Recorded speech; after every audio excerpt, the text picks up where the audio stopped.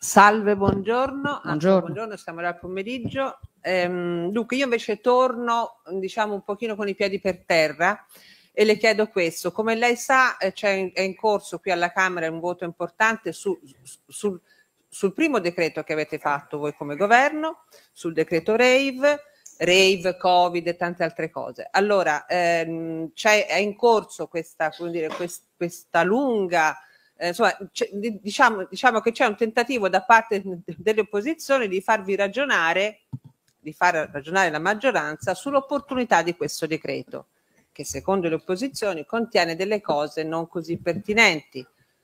Una di queste sono queste misure sul Covid, alla luce anche di quanto sta succedendo, un'altra è sul rave. Quindi quello- quello- il rave, anche perché in Italia ci sono 3-4 rave all'anno, insomma, quindi forse non è così urgente fare, fare un decreto su questa cosa. La domanda che le volevo fare è questa, mi scusi se sono stata lunga, Mm, non crede, ehm, visto che lei ha tenuto così tanto alla centralità del Parlamento quando è stata all'opposizione, non crede che sarebbe utile ehm, dare, dare un segnale in questo senso? Invece oggi il governo metterà la, ehm, dire, i tempi serrati su questa cosa, quindi ci sarà questa be- benedetta famosa tagliola, sarà chiuso il dibattito, insomma la centralità del Parlamento che fine fa? E questo decreto è così importante per voi, per lei? Grazie. Eh, Scusi, ma eh, nei circa eh, dieci anni in cui io sono stata all'opposizione, le risulta che la maggioranza per segnalare la, la centralità del Parlamento abbia mai deciso di non convertire un suo decreto? No, Però accadono cose nel perdoni, frattempo. Mi perdoni, accadono? Accadono cose nel frattempo.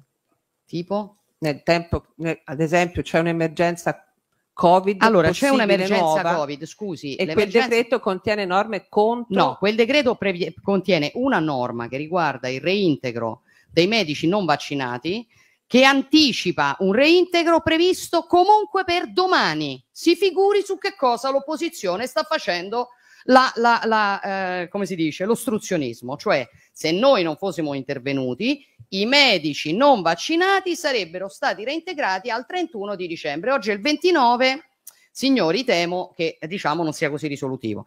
Dopodiché, sulla vicenda del, ehm, eh, del rave non la pensiamo alla stessa maniera, nel senso 1, 2, 3, cioè io considero profondamente, eh, diciamo così, sbagliato vedere che da vario tempo arriva gente da tutta Europa a organizzare dei raduni illegali con spaccio di droga, violenze, in alcuni casi morti, devastazione di aree protette e compagnia cantante perché ci si, diver- si divertono. È chiesto perché non si vanno a divertire in Francia? O in Germania? O in Spagna? O in altre nazioni d'Europa? Perché noi siamo quelli che lo hanno consentito, ma le nazioni normali non consentono alla gente di devastare aree protette per divertirsi perché ci sono le discoteche. Oppure puoi anche organizzare un bel rave party, te lo organizzi rispettando le norme numerose, molteplici, alle quali segnalo che si devono adeguare le persone normali. Perché io ho sentito dire, oh, ve l'ho detto in un'altra conferenza stampa, ma io non posso vendere gli arrosticini. Ma di che stiamo parlando, signori? Ma ce l'abbiamo presente le norme sulla sicurezza alimentare a cui si deve, deve sottostare, deve, diciamo, eh, adempiere chi vuole vendere degli arrosticini in una manifestazione pubblica? O le norme sulla sicurezza del lavoro? O le norme che riguardano, che ne so, il pagamento della SIAE? O le norme su... Cioè, Sono tre l'anno in questo paese, i rave party. e quindi vanno bene. No, è il primo decreto, insomma. E guardi, è già- è- per me è già convertita. Il primo decreto per lei sarà secondario, per me non è secondario. Perché? Perché è il segnale che mi interessa dare. Ah, Fabrizio, non c'è problema. È il segnale, eh, io- noi siamo così, è il segnale che mi interessa dare. Il segnale è, è finito, l'ho già detto, è finita l'Italia che si accanisce contro chi rispetta le regole e che fa finta di non vedere chi le viola. Quindi, cari simpatici ragazzi che volete ballare devastando aree protette, andate a farlo da un'altra parte.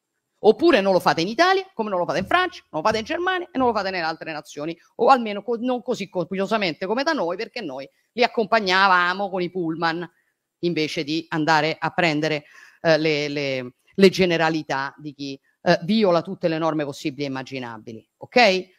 E, quindi io penso che sia invece una norma giusta e necessaria a dare un segnale. Dopodiché, eh, Claudia, ehm, dicevo prima, attenzione, perché c'è il rave, c'è il Covid e c'è l'ergastolo stativo nella norma.